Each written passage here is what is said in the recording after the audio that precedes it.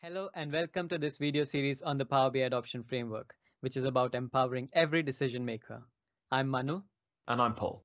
And in this video, we'll provide a detailed introduction to the framework. The idea with this framework is to provide a structured approach for adopting Power BI. This will highlight and prepare you for various challenges that you may come across on this journey. Throughout the series, we will provide the key topics that are important to discuss when rolling out Power BI, but we will not always provide the answer because this will differ from one organization to another. And our goal is to enable you to find the answers for your organization. When building this adoption content, we took our learning from other fast track teams at Microsoft who have been helping our customers with the deployment and adoption of Azure, Dynamics 365, and Microsoft 365. This is broken into three phases, envision, onboard, and drive value. Let's start by looking at envisioning.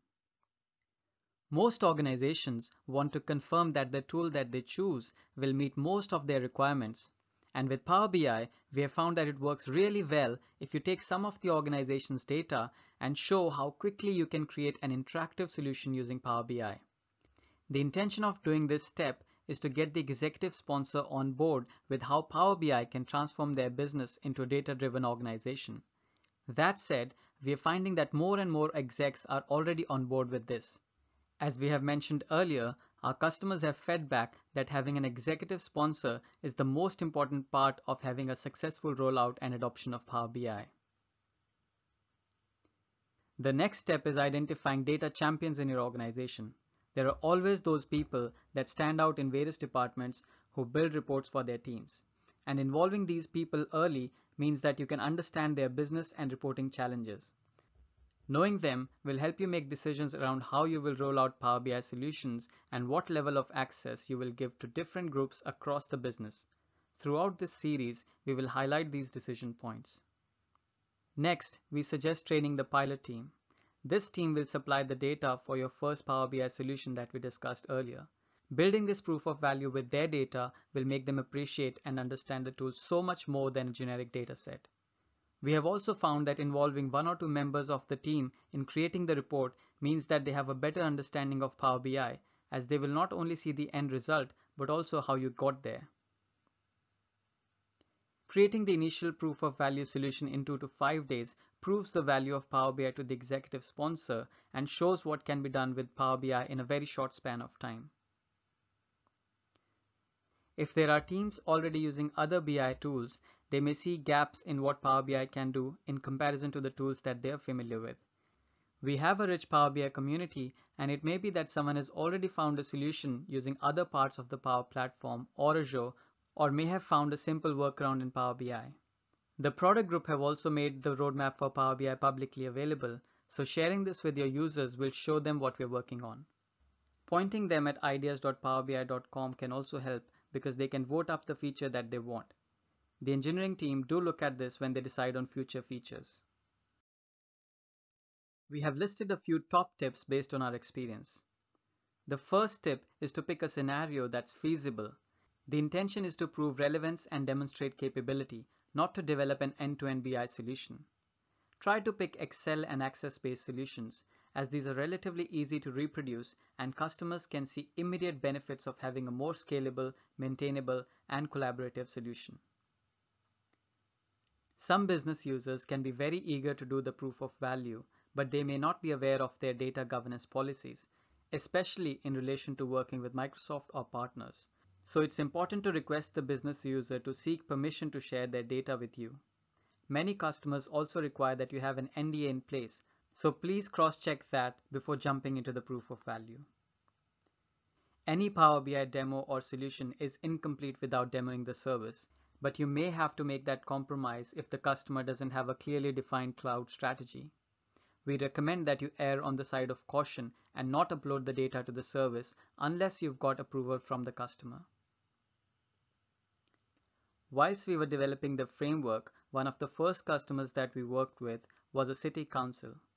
They were most impressed by the amount of knowledge that one of their interns gained just by sitting and watching us develop the proof of value. They actually hired the intern in the end to enhance and support the solution that we helped them develop.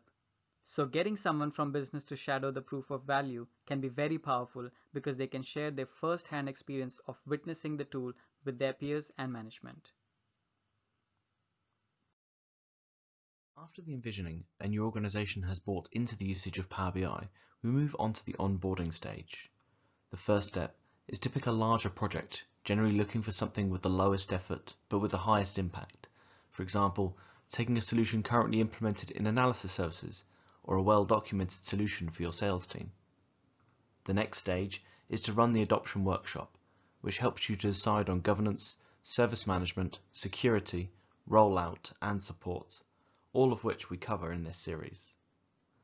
Both in the creation of this project and during the adoption workshop, there will likely be discussion around data quality and availability, which is something that will need to be considered before self-service BI can be accessible to everyone in your organization.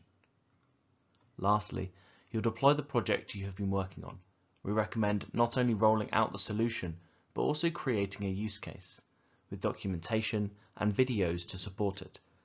Something we've seen work really well is to create two videos, the first showing the solution and the second showing the journey to the solution, so users can understand any challenges in creating the solution, so they can use these learnings in their own. After the onboarding phase, we move on to driving the value. The first and most important step in this phase is to create a Centre of Excellence team who will help with decisions around implementation, provide guidance on how to use Power BI in your organization, and also be the core of a data and Power BI community. Once all decisions have been made, most users will need to know more about Power BI. What is it and how can they use it? This is where internal marketing of Power BI in your organization and those first few projects can really help everyone see what Power BI can do. Having a plan for what training will be available in your organization is also really important. So sharing resources with training users have access to, be it from the Power BI site, elsewhere online, or maybe paid training from our partners is important. Last and by no means least is to build an internal community for Power BI and data. This should be supported by Teams, Yammer, email, or similar to help users answer each other's questions or demonstrate some great Power BI projects that some users have created. In the following series of videos, Manu and I will cover the four major areas of the adoption framework, starting with governance, where we'll look at why, what, and how to govern for a self-service BI culture. We will then look at what you need to decide on when it comes to service management, so configuring Power BI to meet your organization's security and business requirements. Next, we'll talk about security and how Power BI stores your data securely, as well as what you need to advise people in your organization to ensure only the relevant data is shared with the relevant people. And finally, we'll discuss how you can roll out Power BI, how you can be prepared for all support scenarios, and how a Centre of Excellence is a key part to making all of these stages successful. As we all know, it can be challenging to get all decision makers into the room at the same time, and whilst it would be good to have all of them involved in all of the workshop, this is unlikely to happen. To help with this, we highlight the roles who should be involved in discussions most relevant to their role. Bear in mind the longer these discussions and decisions are delayed, the bigger the challenge is to retrospectively enforce or even recommend changes in how the tool is used. From experience, we know that to get the best configuration and setup for everyone, you need to get input from a wide range of people. So it's still very important to get feedback from everyone during follow-up discussions and reviews of the plan please make sure to watch our video on key roles in Power BI adoption for more detail on our definition and expectation of the roles listed here. Having run these workshops with a wide variety of organisations, there are a number of things we'd recommend when working through or delivering this content. Firstly, make sure you get input from users in the business who will be using Power BI, as well as IT for things like gateways and automation, but also include the security team so you can ensure the right people can do things like sharing outside of your organization. We'd recommend leveraging relationships with your Microsoft account team as well as with our partner network to help you make the best decisions if you're unsure. We've proposed a number of recommendations, but we suggest that those of you running the workshop consider the right options to recommend to everyone and help come to a conclusion during the workshops. When making any of these decisions, please take into account your organization's environment and culture to make sure you make the decisions that will get the best buy-in and use from everyone in your business. We've worked with a number of organizations on adopting Power BI and have seen there are two different ways that this program can be funded. The first is where it's centrally funded. This will normally be run by an IT team and have funding from senior management. The second way is when it's funded by part of the business or a department who want to use Power BI for a key project. IT or a partner are normally then involved later. Both of these methods can be successful and the key thing we've seen is to involve both IT and business in any implementation that's done. We've polled many of our customers who are currently on the journey of adopting Power BI.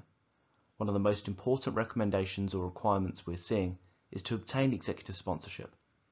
Ideally, this would be someone who has influence over both the IT and business side of the organisation, but we've seen success with both IT and business execs. They help to unblock challenges, as well as setting goals like becoming a data-driven organisation, and can make this a core priority for individuals or departments. It's also very important to make sure that any decisions made for how Power BI will be used or rolled out align to corporate goals. So understanding whether the rollout is to drive self-service BI, consolidate your reporting estate, or any another reason is very important.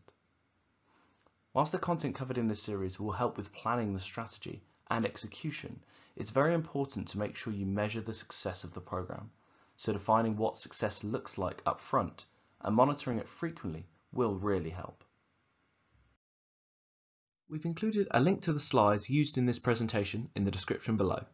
Thanks for listening and if you have any feedback or questions, please leave a comment. See you in the next one.